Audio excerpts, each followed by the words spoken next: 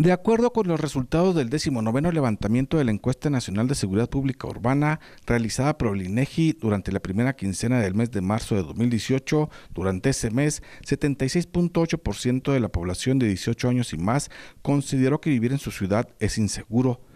Este porcentaje no representa un cambio significativo respecto a diciembre de 2017, pero sí es estadísticamente mayor al registrado en marzo de 2017. La percepción de inseguridad siguió siendo mayor en el caso de las mujeres con 81%, mientras que para los hombres fue de 71.8%.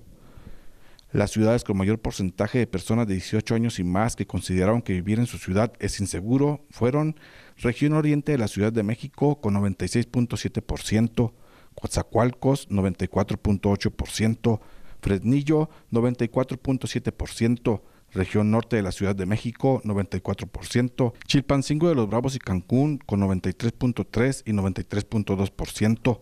Por otro lado, las ciudades con menor percepción de inseguridad fueron Mérida con 29.9%, Saltillo 33.5%, Los Cabos 38.8%, la Laguna 47.8%, Durango y Piedras Negras con 48.3 y 48.5% respectivamente.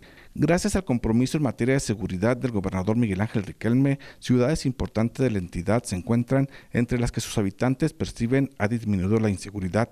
El trabajo coordinado entre los tres órdenes de gobierno ha dado como resultado que el Estado sea referente a nivel nacional en mejorar las condiciones de seguridad y paz para los coahuilenses. A tan solo cuatro meses de administración, los números en el tema de seguridad dan cuenta del trabajo que Riquelme Solís ha realizado, buscando siempre el bienestar de sus gobernados.